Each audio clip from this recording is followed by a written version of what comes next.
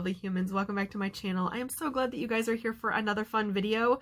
I am Katie and today we are taking a little lighthouse trip. So I have been wanting to do this for a very long time and this is the Haunted Lighthouse Historian. So it is about time that we take a little lighthouse trip. So I decided to take a little journey up to Detroit, Michigan, which has several lighthouses actually, but I uh, only marked two of them off of my list this time. So there are more to come from Detroit, and I will hopefully get to those very soon. But the ones that I visited uh, Tuesday, so today's Friday the 13th, uh, of November 2020 and I went back on Tuesday and it was a wonderful beautiful sunshiny day we've had well we had several days in a row of gorgeous sunshine between 70 and 80 degree weather for November, which is kind of unheard of for Ohio and Michigan. So typically at this time of year, we're looking at anywhere from 30 to 50 degrees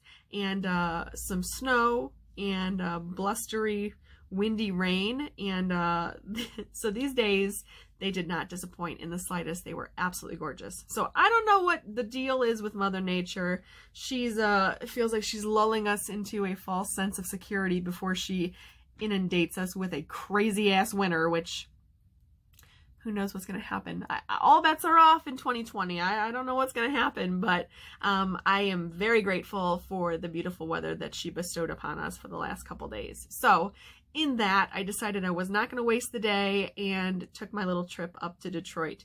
Now, I live in Toledo, and Detroit is our kind of our sister city. So she's only about 50 minutes away from Toledo, going up north on I-75.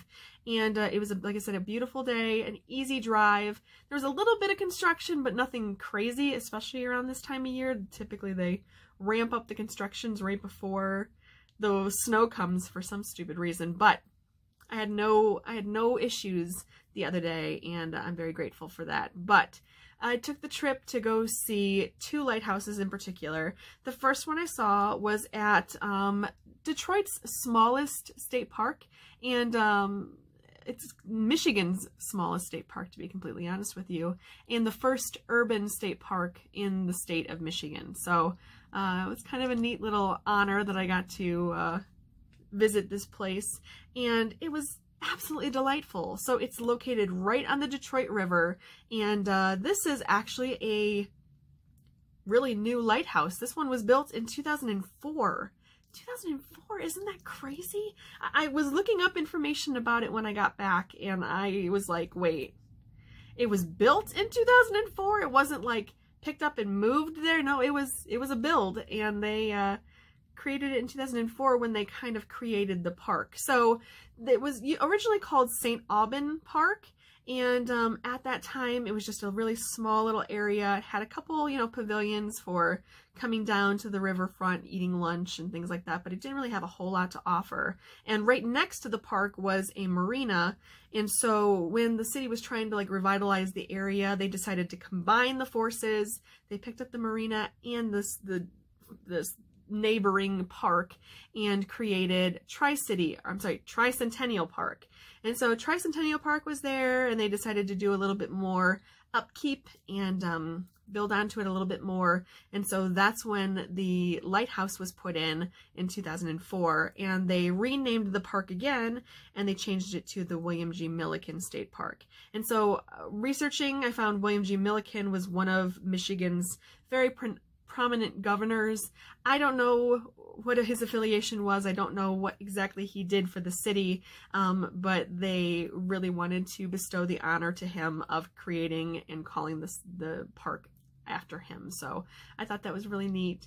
And so that was my first stop. I parked my car down the road. There really wasn't any park parking you uh there was well there was one area but the the parking was kind of creepy they had this weird dip and I uh, was not trusting my car to try and go over this area to uh, park in this lot. So I ended up finding street parking a little bit ways away. And so I just walked my happy little self over there and it was just so nice. It was windy, so windy, blustery even. Um, so all of the talking that I was trying to do over my videos got drowned out very quickly. And uh, so you'll you'll see that. I had to take all the audio out of my video and just put some music over the top of it because it was it was awful.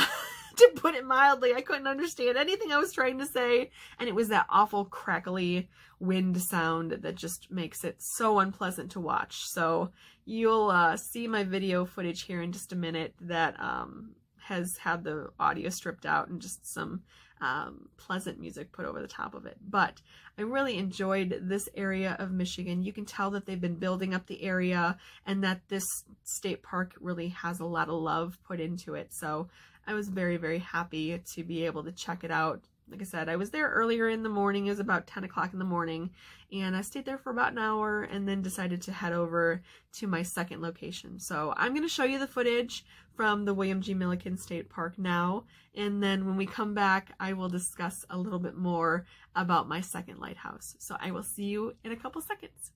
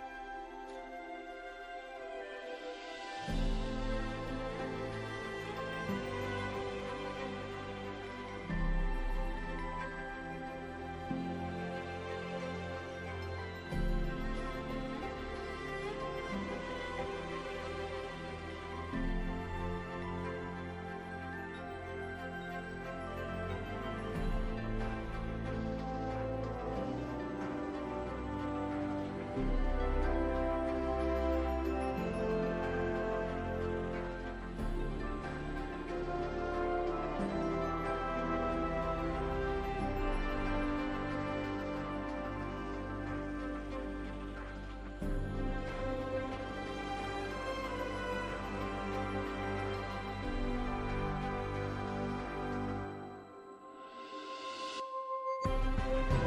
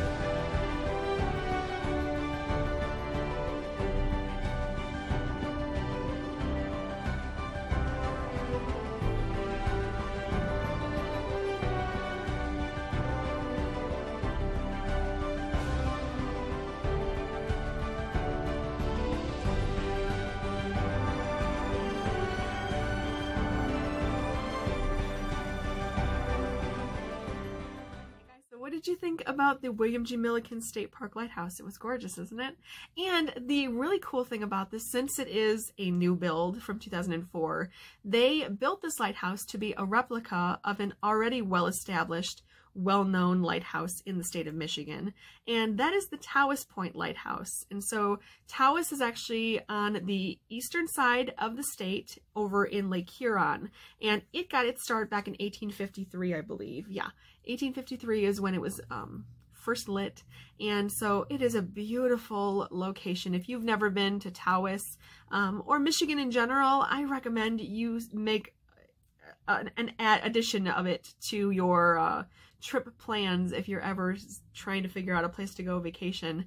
Michigan has so much to offer. Not not just the lighthouses, but it is the state with the most lighthouses in it for the United States. So many people think it would be Maine or California, but that honor is bestowed on Michigan. So I feel very lucky that I am literally just from my house, it's maybe a three minute drive to get to Michigan. So um, I feel very blessed that I am so close to the border and can go visit Detroit anytime I want to. But I, I, never do. I mean, I'm so close to it, and I, it was such a strange thing. As I was driving there the other day, I kept thinking to myself, why don't I do this more often? I mean, I I felt like a stranger in Detroit because typically if I'm going to Detroit, it was because I was going to a concert. And so I would get to town around 6, 6.30 and, uh, you know, there really wasn't any time to do any exploring. So Detroit and I had a very good time together and, uh, I've, I've always loved the city. I've never had any issues in that city and, uh, I just feel a, a, love, a kinship for the city of Detroit. And uh, so it was a really good day overall. But as I was sitting at the William G. Milliken State Park, I was looking around and I noticed to my left that there was a uh, an island out there, and I remembered that Belle Isle was in Michigan in Detroit. And so I got on Google and I did a little bit of research and I found out that there was a lighthouse on Belle Isle. And I've looked into it years ago because I, I am one of those people that take um, trips via Google Maps. So I will, you know, put in a location and then I just take Google Maps around just to kind of sightsee and figure out what I can I can find, you know. And so years ago, I did a little tour of Belle Isle, but had never, like I said, been there before and uh, had completely forgotten that there was a lighthouse there. So this is actually the second lighthouse that was put in place on Belle Isle. I will talk about the first lighthouse in just a second, but um, it, like I said, it was um, kind of a day of, I was on a whim. I thought, we'll go here, we'll go here, and, uh, you know, see where the wind takes me. So Belle Isle was my logical next step to go see this next lighthouse. And uh, it's just a very quick drive over the MacArthur Bridge, and then you are on Belle Isle. And one of the cool things about Belle Isle that I guess I didn't realize before, you know, I started my uh, research into it is that Belle Isle is the biggest state park like in a in a city. So, you know how everyone talks about New York City and Central Park and how it's a big beautiful like city park. Well, Belle Isle is bigger than Central Park and it is it is located right in the heart of Detroit and uh, right in the Detroit River. So, a lot of people are not aware of that and uh, I just think it's such an amazing thing that it's so close to me. I mean, I, it took me an hour to get to Belle Isle and it was, it was wonderful. So the thing with state parks in the state of Michigan, they are typically, you have to pay in order to get into them. Ohio is not like that. We have many state parks. All of them are free access to anybody that wants to come. But Michigan imposes this fee uh, every time you go to a state park. But the fees are very important because they go towards upkeep, um, you know, taking care of the land and it also pays for any um, park rangers or any naturalists that they bring in um, to kind of help with the ecosystems and things like that. So the fees are very important and I think it's a wonderful thing if you are looking for somewhere to donate some money or if you just want to um, I don't know, give back to Mother Nature, I think it's a really great idea because the fees, like I said, will go towards upkeep and the love and care that these state parks deserve. So the one day fee, if you want to go to a state park, I think is currently at $9 a day. And if you want to get a state park pass, it's $31. So really, if you think about going to a couple different parks in, you know, if you're taking a, a week long trip, and you want to hit several state parks in Michigan, the yearly pass is not a bad gig. So look into that if, like I said, you are looking for um, a way to give back, or even if you're local and uh, you want to do like a, a, Christmas present for somebody that's not really looking for um, material things. I think that a state park pass would be a really great, fun idea. So it's almost Christmas, guys. If you're thinking about out of the box ideas, that would be a really good one. So anyway, but uh, Belle Isle is really gorgeous and growing up, you know, the Belle Isle used to be um, what's known as Detroit's playground. You know, people would go to Belle Isle to swim and to fish and to play games and just to kind of relax away from the hustle and bustle of Detroit. And so you could feel that when it, when you kind of go over the MacArthur Bridge and then you get to the um, the location where you have to pay to get in. Uh, when I went in November, it was actually closed down for the season. So the the thing with the state parks is it's only really uh, a pay situation if you go in peak season. So it's usually like mid spring to very late fall is the peak season time. And so I think that that makes sense because you know if you're going to the state parks when it's warm and sunny out, you have more options of things to do. You can go swimming, you can go canoeing, you can go kayaking, you can um, do all of these fun um, things there. And so when it gets colder, you know, in November, those uh, options of things to do kind of dwindle down. So they uh, take away the fee at that point, and so it's kind of free to access. And so that was my case. I didn't have to pay to get onto the island at this time. And uh, it was just really weird situation though, first of all. So when I went over the the bridge and I got pulled around to go through the location where you would typically pay, there it was like a three lane highway, and I was very confused at first because I kept going. Uh, where where's the other where's the other drivers and what's happening? But it is all like a one way road that kind of loops around the entirety of Belle Isle. So when you go over to Belle Isle, don't be confused because I certainly was. I was like driving in the left-hand lane going, am I even supposed to be over here? It was very strange, but I, I figured it out eventually as I'm driving along.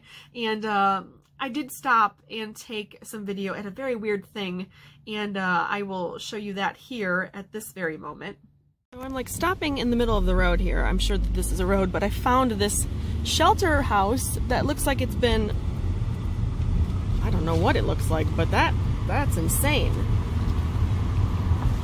So I don't even know where I'm going at this point. I'm just kind of uh, driving around in Belle Isle to see what I can find. And uh, I'm gonna put you back on my cradle here. I'm still trying to figure out what that is. Like, if is it a uh, a shelter house that burnt down and then they tried to quarantine it off with with um, boards and they just stopped midway or I don't know. Or was it decorated for Halloween? I don't know. I don't know. It was just very weird. But I had to slow down and take a video of it because I just kept going, what am I looking at? But Belle Isle was kind of cool. Like if you are from Ohio, if you've ever been to the center of our state, there is a little town called Marblehead that's out at a peninsula into the Lake Erie. And uh, right next to Marblehead, kind of nestled into it, is a little town called Lakeside. And Lakeside is a pay to enter kind of a thing. So much like the Michigan State Parks, if you want to go into Lakeside, it's kind of a upper crust area, you know, where you have to pay to get into this area. Um, and it's the same thing where you can access boating and fishing and there's different like um, perks for going in. They have a performing arts place where sometimes they'll bring in, um, I know they've had comedians, they've had musicians that come and perform, and so um, it's a really nice little town. But Belle Isle felt very much like Lakeside to me. So I could tell that in the peak time in the summer, they probably have a pile of things going on. It looked like they had a couple different buildings that maybe house um, shops, maybe restaurants, but everything at that point was closed down. There really wasn't anything going on. I was one of maybe 12 other cars that I saw the entire time I was on Belle Isle, um, and they were kind of passing me as I was driving very slowly, trying to figure out what I was doing. Um, but it was a really cool place. So I recommend if you have an afternoon, if you're from Toledo local area and want to get away and see something fun and unique, I definitely recommend Belle Isle. It was so neat. But let's talk about the lighthouses quickly. So the Belle Isle Lighthouse is actually called the William Livingstone Memorial Lighthouse. And William Livingstone was a very prominent man who, you know, was born in the 1800s. He was actually born in Canada. His family moved down to Detroit, and so he turned himself into a Detroit native grew up there, and became very, very prominent in several different industries. So I know that he was prominent in banking, in publishing, and in transportation. He kind of revolutionized the way we did shipping, especially on the Great Lakes. And so because of his, his uh, involvement in shipping, he also had a huge hand in building the canals, um, especially the one that's up in Sault Ste. Marie, Michigan, which is in the Upper Peninsula. Um, and it's about a 1,300 mile little strip. And um, he was very, it wasn't 1,300 miles, 1,300 feet, I think. Let me get my paperwork again. Da, da, da. Yeah, 1,300 feet miles. anyway, so he was very prominent in making sure that the canals were built and kind of revolutionized the way that we did shipping. So, and the, the, the Sault Ste. Marie Canal is a huge area for trade and travel. Um, it kind of rivals, you know, the Panama Canal in the amount of people that are kind of going in and out every single year. So it was a very cool thing to kind of read up about this guy and um, figure out, you know, why he was so well loved that they would name this memorial lighthouse uh, after him. And so it was a really cool thing to see. It's a very unique lighthouse, as you're about to see. Um, it is made out of Georgian granite, and it was $10,000 to build initially back in 1930, I think. Let me look it up. Yeah, so it was built on April 8th, 1930 is when the last kind of pieces were put together. And then it was dedicated in October of 1930. And the dedication date was actually five years after the death of William Livingstone. So they uh, kind of did that on purpose to make sure that they could have a proper dedication for the memorial. And it very much reminded me of if you've ever been to Put-in-Bay, Ohio, um, there is a national park on Put-in-Bay, and there is a huge monument, and it's called the Perry's Victory Monument, and it is a huge granite tower. So, like I said, it was very uh, similar to me to the to the William Livingstone Memorial, but half the size. I mean, the one on Perry's uh, um, Put-in-Bay is massive. This one was tall, but it wasn't anywhere near as tall as that one. It's only 47 feet tall. And uh, it was kind of encased in a wrought iron fence. And so when I was looking up you know, information about the lighthouse, um, I found out that there was a lot of vandalism that happened with this lighthouse back in the 80s. So vandals in 1980 kind of broke in, stole two of the four lanterns that were placed in the, the memorial lighthouse, um, defaced it with graffiti, and were just general shits because people have a tendency of being little shits for some reason. I will never explain it, never understand it, um, why you want to go and deface something that is a part of history.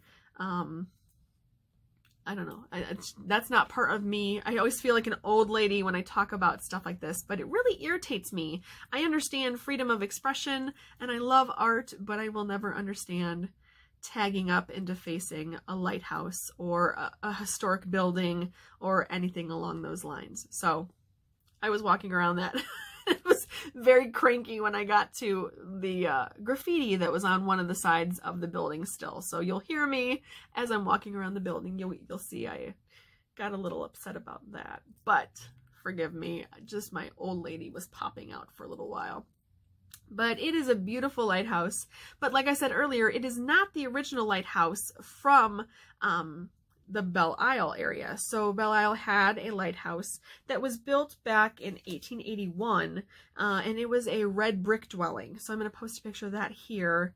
And look at that beautiful thing. Isn't it gorgeous? So it was a house for all intents and purposes uh, with a beautiful light attached to it. And the lighthouse was kind of taken care of by one keeper for about 40 years. And this is really unheard of because typically keepers would be kind of moved around a lot. You know, they'd be stationed at multiple different lighthouses.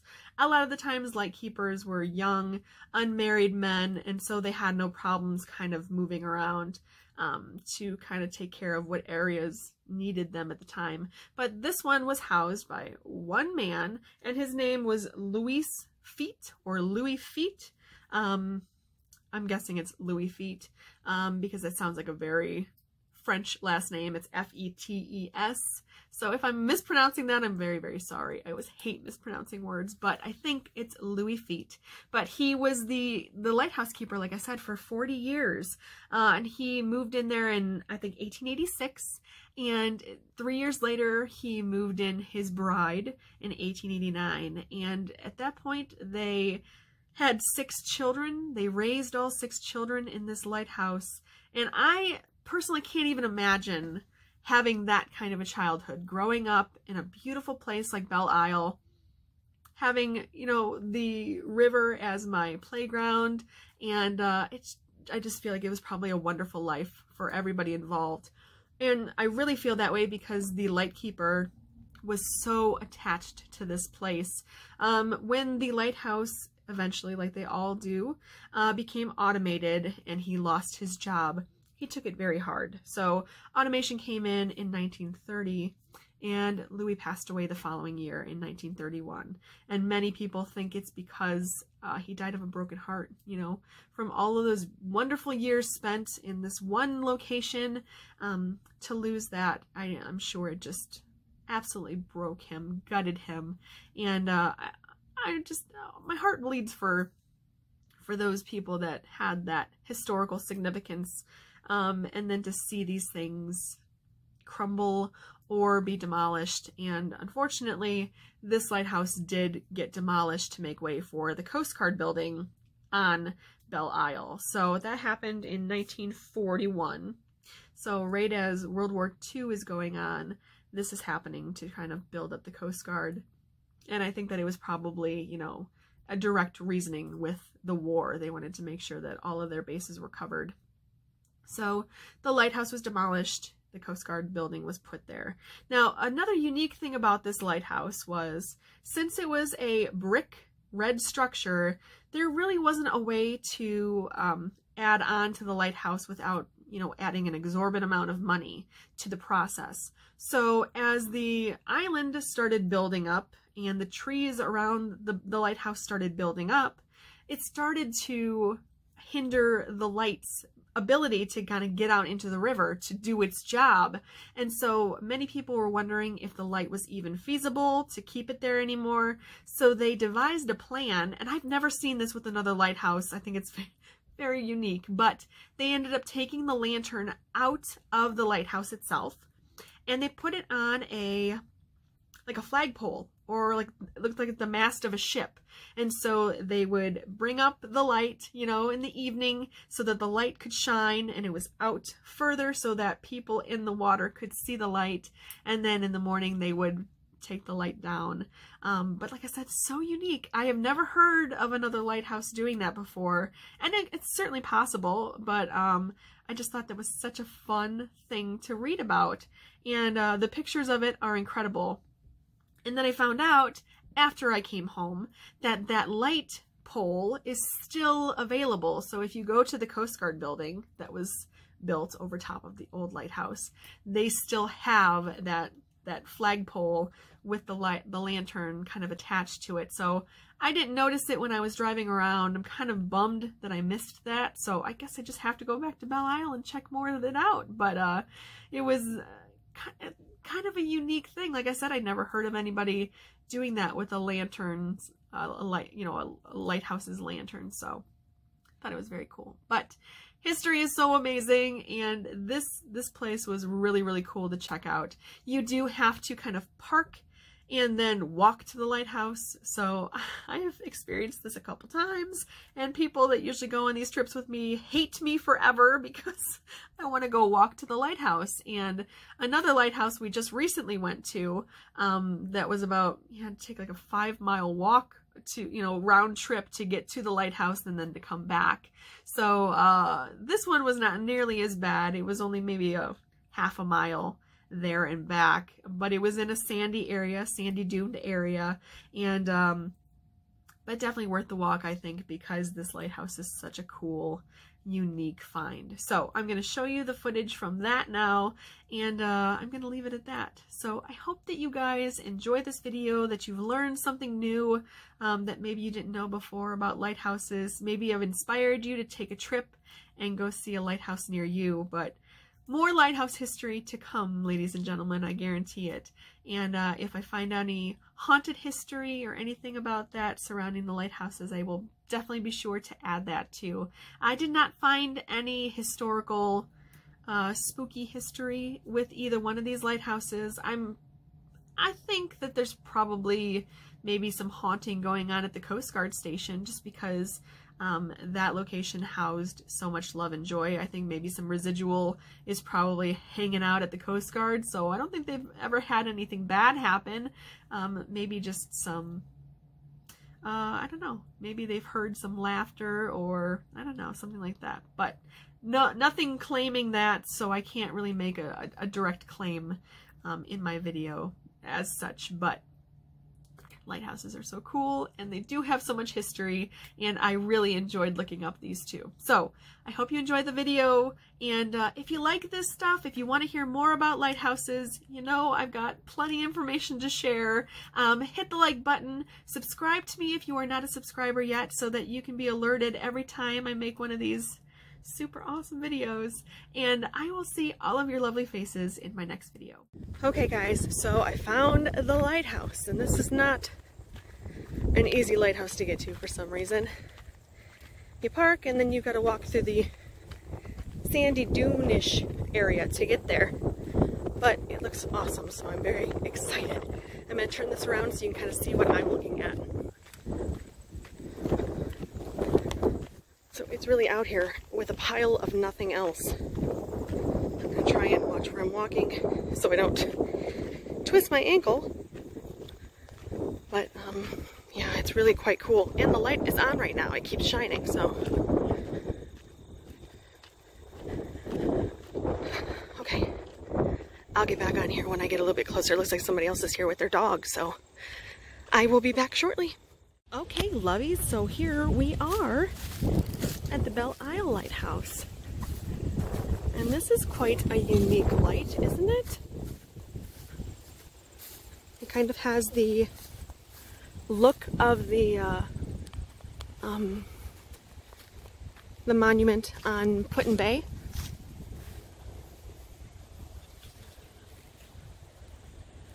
Very tall, statuesque. The light, like I said, is on. I don't know if it's just continually on all the time or what the deal is, but it does say William Livingstone on the light. So I think I remember reading about this place at one time and William was the guy that kind of got the money together to put this in place. But isn't that so cool? You can't get close to it because they've got this, well, as you can see, wrought iron fence. But still really, really neat. Let's see if I can go around behind it. You can see over here, the river. Oh yeah, this is all kind of not completely mown down, but mown down enough that you can kind of walk around the light.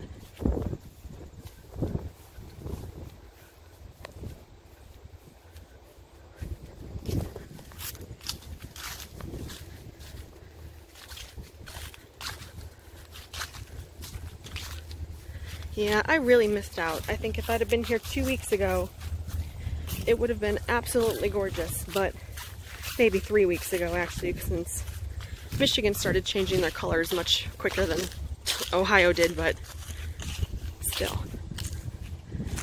Oh, there's a plaque on the side of it. I don't know if I can get up close enough to see what that says. I'm going to zoom in a bit. Oh, I know says William Livingstone again, but yeah, all the other wording is kind of lost, I think.